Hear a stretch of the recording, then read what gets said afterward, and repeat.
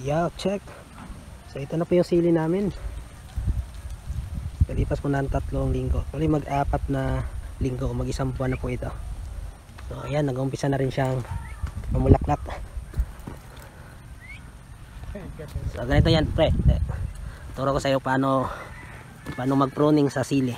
Ah, okay. Kasi yan, no? Ano yan, marami ng sanga.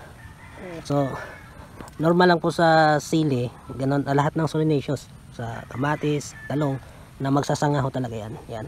Ito yung tinatawag na Y branch. Kasi nagwa-Y. So, yung lagi kong tinuturo, tatanggalin yung pinakaunang bulaklak.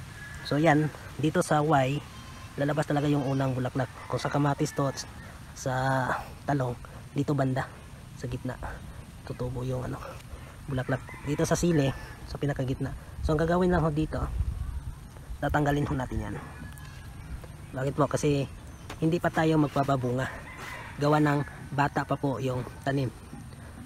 So, kailangan muna ma- mag-concentrate yung puno na palaguin yung sanga sa taas. And then, ito kasi, hindi pa ganun ka-establish yung ugat. Mm. So kailangan ano 'yon? Ma timing yung ano, yung pag-establish ng ugat at saka yung pagbunga. Nang sa ganun, pag nagbunga na siya, kayang suportahan ng ah, ugat ng puno. Nang sa ganun, eh, tuloy-tuloy yung pagbunga.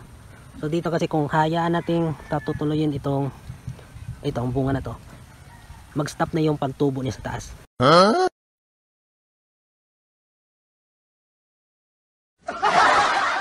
Kasi yung nutrients na nakukuha ng ugat, ipapasa niya, mapapriority niya yung bunga.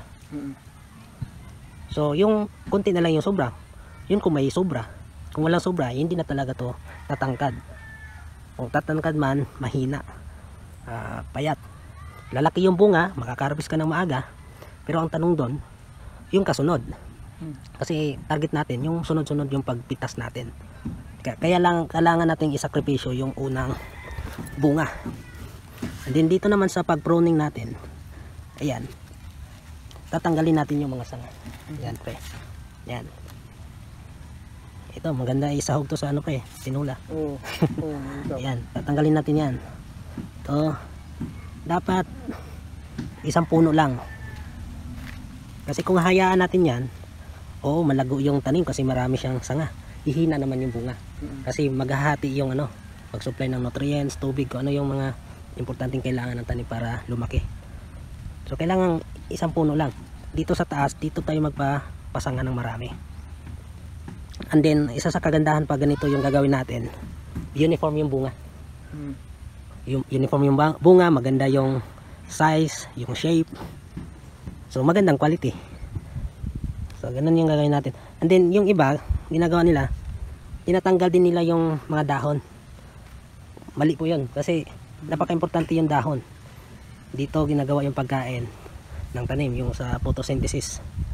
So, hayaan natin yan pag ah, marami na bunga, yung malalaki na, saka tayo dandang magtanggal sa Mm. dahon. So hindi natin didiretsuhin o bibiglain yung pagtanggal ng, bung, ah, ng dahon. And then kung nakita natin na mayroon ng tama o naninilaw na, tsaka na rin natin tanggalin Mm. para maiwasan yung pag-spread ng sakit. So yan. So far maganda naman yung sili natin. Madamo nga lang, pero silang. Ito yung kagandahan pag naka-plastic, di ba? Oo. Kahit na madamo dito banda importante dito sa puno oh, ito may pailan nila pero dali lang naman tanggalin. Wala. And then dito ito na nga yung tinanim namin sa gitna. May nagtanong bakit binutasan yung sa pagitan ng ah, tanim. So yan ito po yung purpose. Nagtanim kami ng sibuyas. Ito po hindi yung onion bulb ito yung ah, bunching onion o sibuyas dahon kung tawagin namin. Dahon lang yan So ang explanation kung bakit ko nilagay dyan, ito kasing mga sili, mga solanaceous crops, ay susceptible ito sa soil-borne diseases. Eh, di ko alam kung anong history, wala naman silang sinabi sa na history dito sa area na to na may soil, soil-borne diseases kasi palay naman ang tinanim dito dati. Pero ito, naninigurado lang.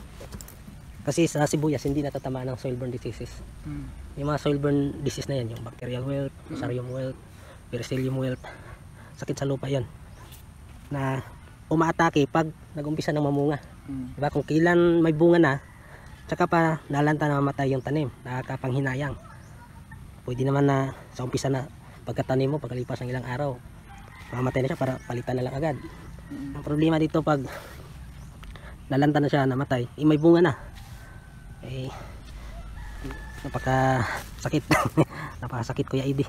Ito naman, so yan, ang tulong nito ay ah, para makaiwas, no? Prevention yan sa pag-atake ng ah, sakit. Kasi, siyempre, kung lalago na yung ugat, kasi magkabilaan yan, yung mga sibuyas. So, magkukross ngayon yung mga ugat nila. So, nare-repel ng ah, ugat ng sibuyas yung cellborne diseases na yan. Ah, hindi naman natin masabing perfecto na walang matatamaan, pero nami-minimize. No, nababawasan. And then, extra income. Mm. Mahal ang sibuyas. Nasa 80 per kilo, di ba? Yung iba, abot ng 120. So, malaking bagay na meron kang tinanim din dito. Additional profit mo yun. Yan. Hanggang doon. Lahat yan nasa gitna. So, kumbaga, ano tayo dito? Ah, multi cropping. So, ang tawag nito is ah, ano, companion planting. Mm. Companion silang dalawa. Kasi mayroon silang kumbaga, nagtulong-tulong sila. So, yan lang yung sili namin. Yung talong. Ganun din. May sibuyas din yan.